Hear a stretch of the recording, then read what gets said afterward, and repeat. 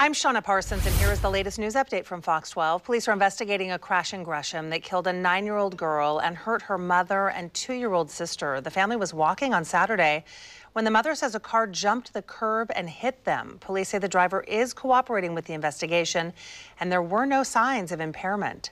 A new COVID 19 vaccination clinic is opening today at Rise Church in Tigard. Organizers hope to vaccinate 600 people every day with a single dose Johnson & Johnson vaccine.